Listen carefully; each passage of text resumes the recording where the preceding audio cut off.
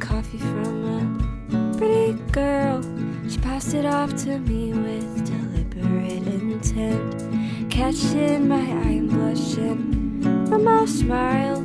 Try not to act surprised you walk this direction. Talking to a girl wearing flip flops.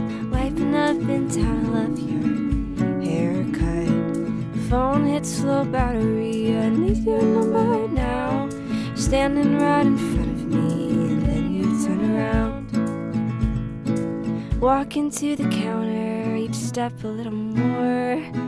And then I sneeze, you didn't see that. Oh, yeah, no, you did.